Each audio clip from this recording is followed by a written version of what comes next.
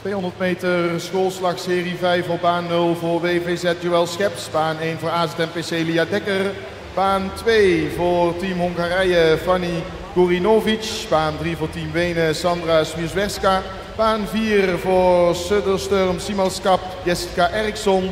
Baan 5 voor Sparvegen Simverenigingen Stina Gardel. Baan 6 voor Lamberterse SK Selina Hilton. Baan 7 voor Racing Club Uma Kraus. Baan 8 voor AZMPC Larissa Brak. En baan 9 voor Aratuza Marlijn Hendriksen.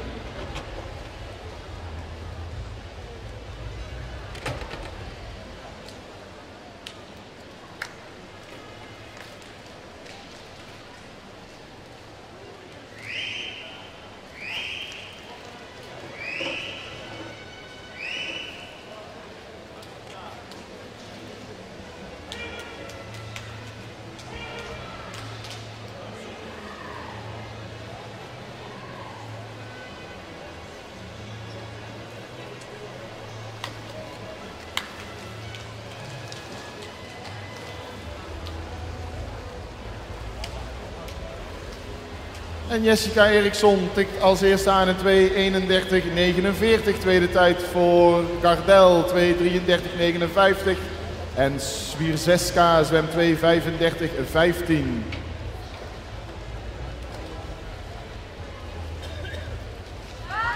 En alle dames zijn gearriveerd, maken de officiële uitslag voor u op.